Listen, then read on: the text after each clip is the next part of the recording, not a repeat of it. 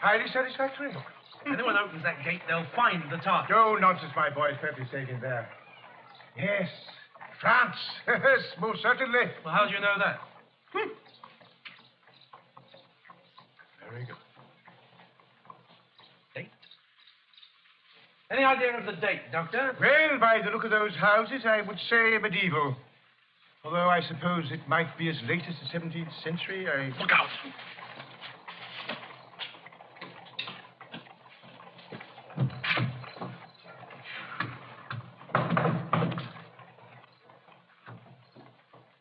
Nicholas Muss is expecting me. Oh, yes, of course.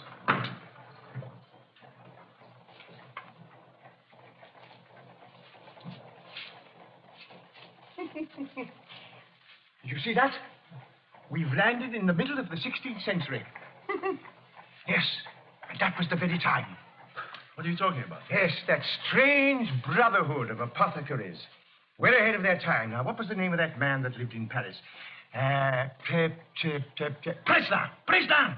That's the man. Yes, the most advanced man of them all. I must try to get to see him. You're too cautious, Nicholas. The Catholics know of only one way to settle our differences. Times are difficult enough for us here, without you provoking further quarrels. I? Oh, can't be fair.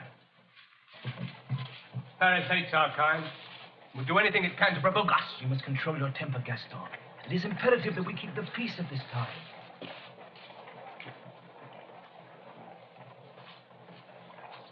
We're in Paris. Quite so, dear boy. Well, now, don't let us dawdle. We must go in and change. Well, have you got the right clothes? You'll be surprised what I've got in my wardrobe. And I want to turn over a few old papers. Yes, come along. There's no time to lose. Come along. Come it down, come it down. Now, now, is, uh, is everybody's mug filled? Yes. yes. Then drink to Henry of Navarre, our Protestant prince. Henry, Henry of Navarre. And to his bride, our Catholic princess. Landlord, Yes, sir. we got no decent wine.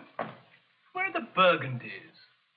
Or even the German wines? Sir, we have the best Bordeaux on the market. A thin Catholic brew. Doesn't encourage serious drinking. No.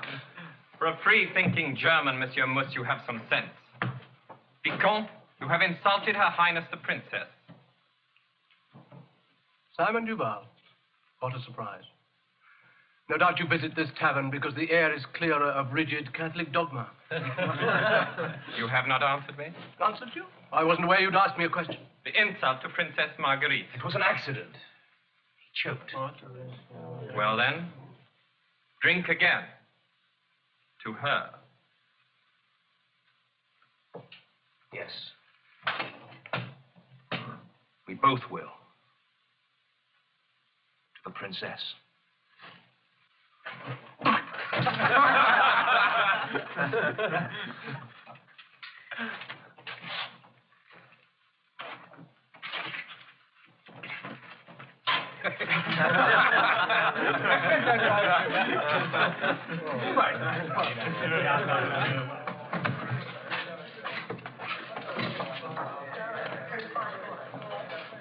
Most of them are in the service of the Admiral de Coligny. I have to serve them, sir. I hate these Huguenots as much as the next man.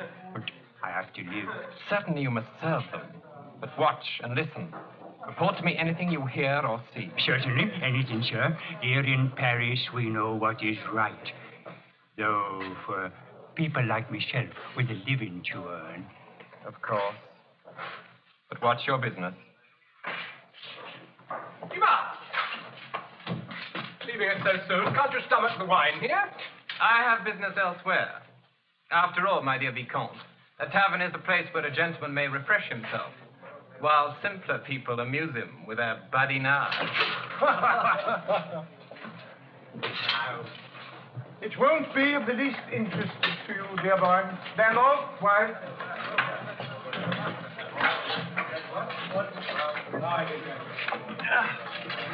Look, I'm not going to sit in the TARDIS whilst you gallivant around Paris. I shall do nothing of the sort. I am going to visit Preslin. He lives on the other side of Paris, somewhere near Port Saint Martin, I believe. Thank you. I just want to sit down and have a talk with him about his work. Are you interested in Germanology? Hmm? I don't know. What is it? Well, you, uh, there, there you are, you see, and you know nothing about this period, do you? You'll only be found out for the man that you are. Look, I'll be careful. I'm perfectly careful of, of looking after myself. I'll just walk around Paris and see the sights. Well, uh, in that case, I shan't visit Preslin. Oh, don't be silly. You can't wait to talk to him. Come on, you go. I'll be all right. Well, You'll never forgive yourself if you don't.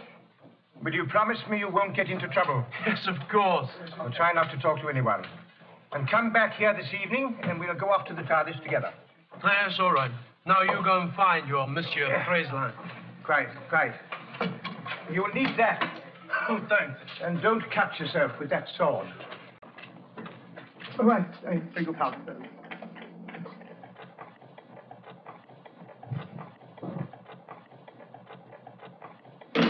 Here, you. It is customary, sir, to pay for the wine consumed. Oh, oh, yes, of course. Here, take this. Uh, The wine is two sous. I cannot change this. Well, that's all I have. I cannot change gold. Can I help you? You're a stranger here. Yes, this man won't change my money. I ask for two sous and he gives me an écu. I cannot change it to coin.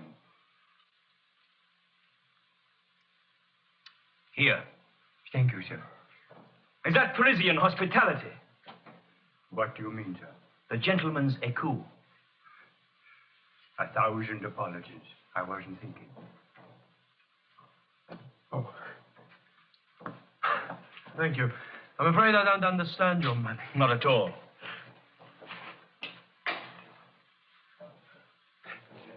Excuse me. Yes? Can you tell me the way to the Port Saint Martin? Certainly, but as a stranger to Paris, I think you'll have difficulty finding it. So I've got to try. You see, I must find a man called Preslin. I'm sorry, I don't know the name. Ah. Is anything wrong? Oh, I don't know. You see, the friend who was with me has gone there. When he left here, it looked as though he was followed. The old man? Yes. You see, he's gone to find an apothecary there. Is he sick? Oh, no. No, no, he's a scientist. He's gone to talk to him about his ideas. A dangerous thing to do in days like these. Oh, well, perhaps it doesn't matter. He'll be able to take care of himself. He usually does. In that case, you needn't worry. No. I don't think you're sure. Look, come and drink some wine with us, and later I'll take you to the Port Saint-Martin. No, thank you, but, uh, well, I don't want to intrude. I mean, Nonsense. Come and join us. Later, we'll make sure your friend is safe. All right, thank you. I'm afraid I've never been in Paris before. Allow us to be your guides. Hmm.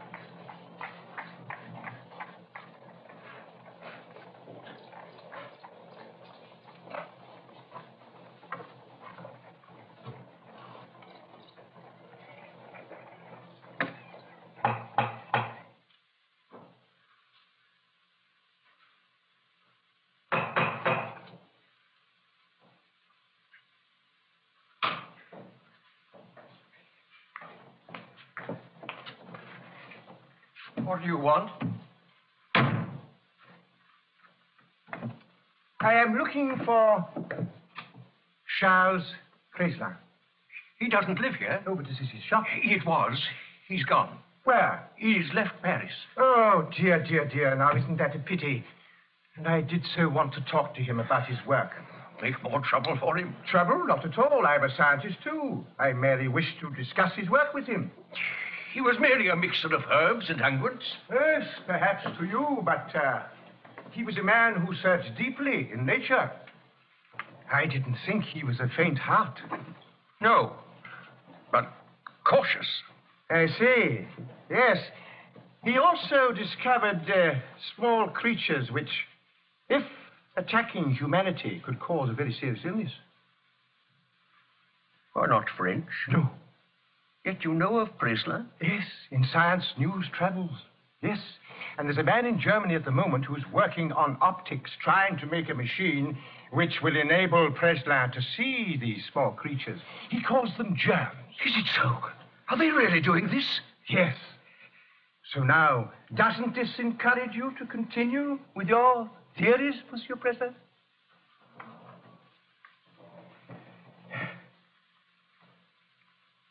I. I am Charles Preslin.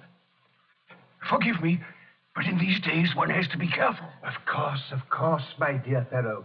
But I'm extremely curious about your work, Monsieur Preslin. Don't mind Gaston, Stephen. He's like this with any stranger. In fact, he'd cross-question his own shadow. Don't mock me, Nicholas. I'm in France to protect my master, Henry of Navarre. Just as you are to protect the colony. You're too suspicious. Stephen's been traveling abroad. He knows nothing about what's been happening here. Do you? No, No, I really do know very little. Yes, but as you come from England, you must be for the Huguenot. Uh, yes, what you call a, a, a Protestant. Oh, yes. Yes. There. You see? It's just that I'm interested in our friend. Now, tell us where you've been traveling. Well, I've been. I've been in Egypt. In Egypt? Yes. Look, uh, I've taken up far too much of your time. Perhaps you'd be good enough to tell me the way to the Port Saint-Martin? I'll come with you and show you the city. Ah, thank you, but really I should try to find my friend. Wise man. Nicholas here only knows the most boring places. At least let me point out the starting point. Yes, thank you.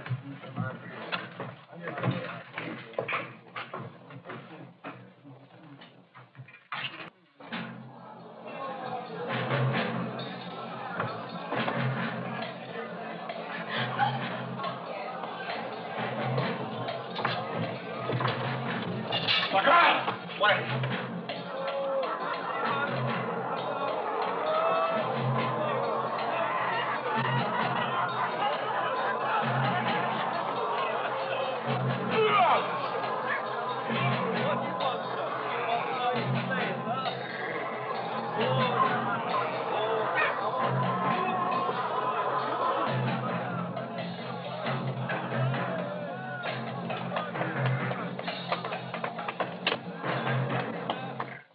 you get there, ask again. Anyone will tell you. Oh, I think I can find it now. Well, thank you, Nicholas. A pleasure.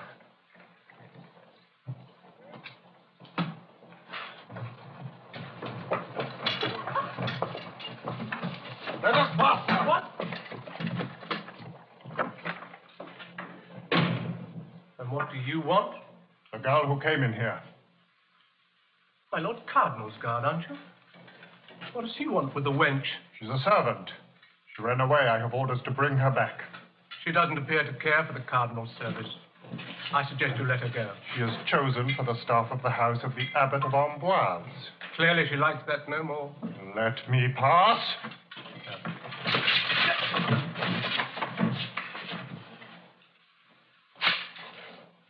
My Lord Abbot shall hear of this when he arrives. Yes, I'm sure he will. Tell him to take the story to our Cardinal in Rome. No doubt he'll like it also.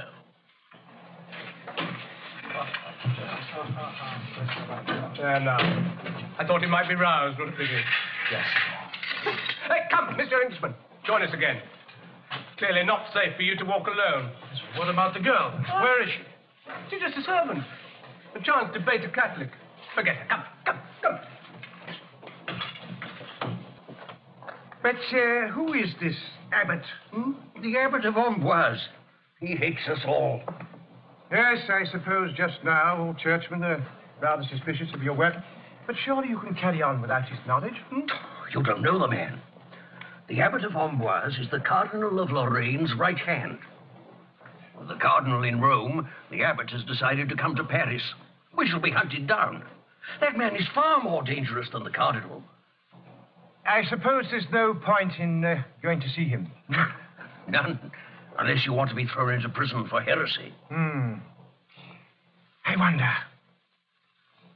The girl was clearly frightened out of her wits. We should find her. Nonsense. She's probably gone back to her own people. Don't you want to know why she was frightened? No? Many things frighten people in Paris these days. Hey, hey, hey, you girl. Ah, come here. Come on.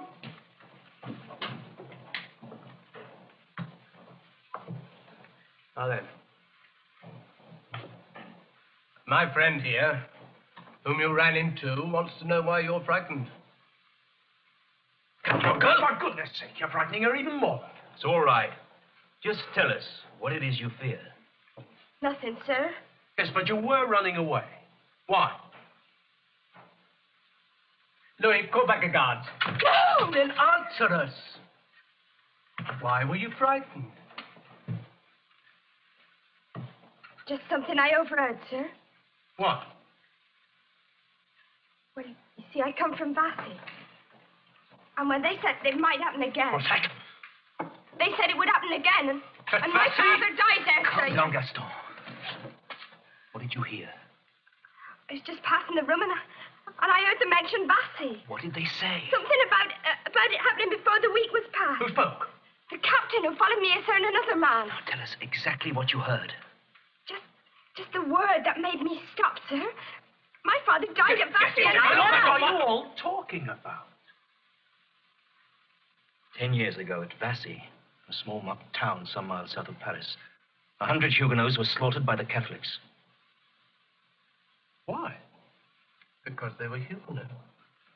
Listen, girl. What do they call you? Anne. Anne. Think back. Remember every single word the captain and the other man said. well, I've told you. Then tell us again. Oh, fool. To allow the meddlesome Vicomte de Lerans to stop you. There were too many of them. They'd have killed us before we even found the girl. The girl is just a servant. She couldn't have understood us. If she should remember what you said and should repeat it, she could put our friend on his guard. We didn't speak of him. Then what did you say to frighten the girl? Nothing.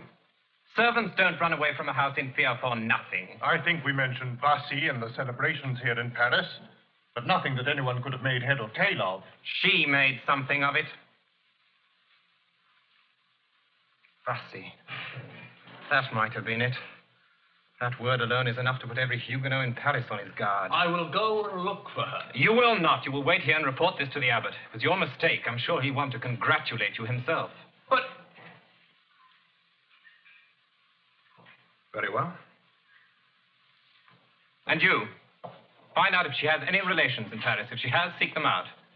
And find if she's fled there. That girl must be found.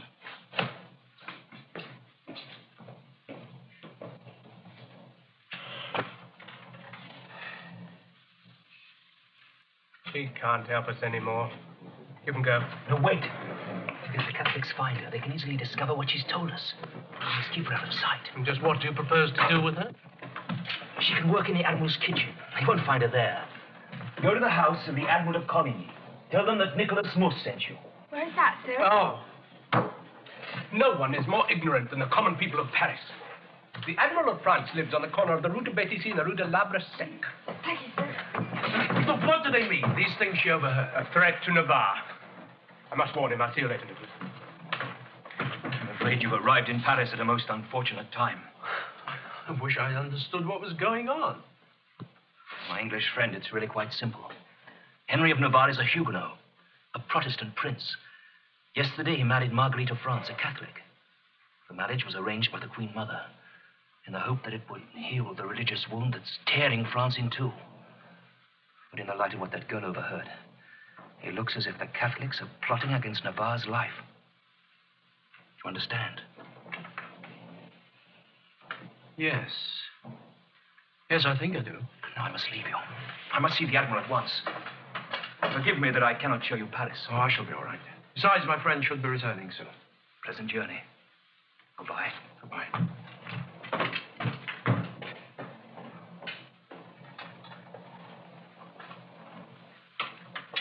You showed the old man the way? Good. I only hope he succeeds. You were not seen? Let's hope not. You've done well.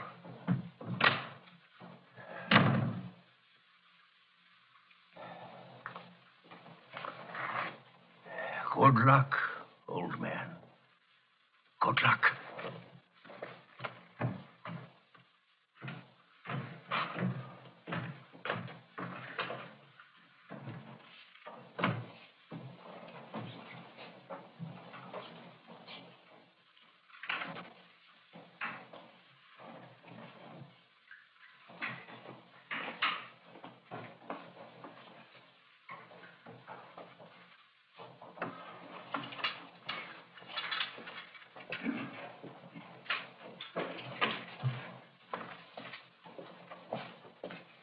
Where's the girl? The girl. The girl who played in here this morning. What happened to her? I don't know.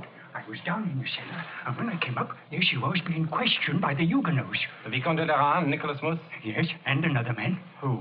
He's still here. Over there. Who is he? I don't know.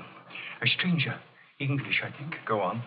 The Vicomte left hurriedly once they'd finished with the girl. And where is she now? Sir, it is difficult to hear everything. I must watch over the old cabin. Haven't I paid you enough? Oh, come, sir. What happened to the girl? She. I remember. She was sent to the house of Admiral de Coligny. I see. Thank you, my friend.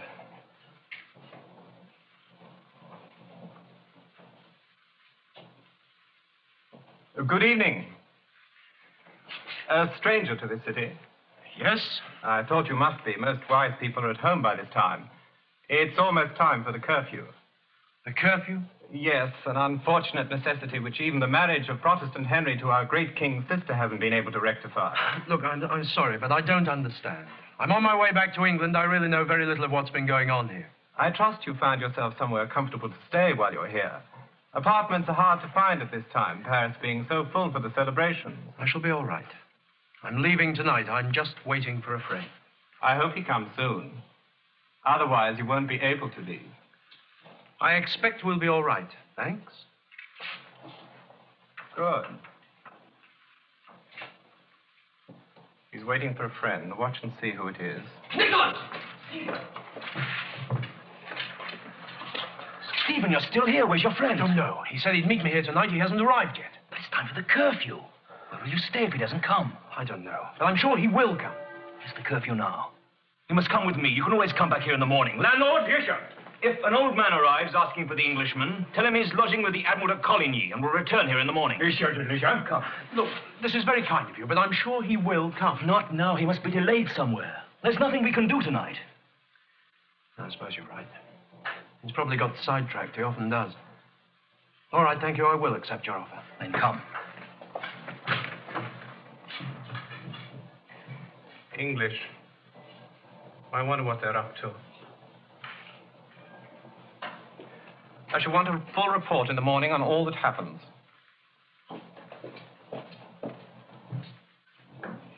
And that is what happened.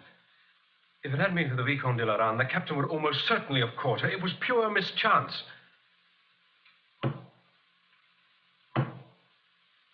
I'm sure she couldn't have made any sense of what we said. Simon Duval has gone to the inn where she escaped, and the captain has gone to find an aunt of hers. I'm certain that it's only a matter of time. In fact, one of them may be bringing her back here now. Forgive me, Father Abbot, but the missing girl is at the house of Admiral de Coligny. Fetch her tomorrow. Bring her to me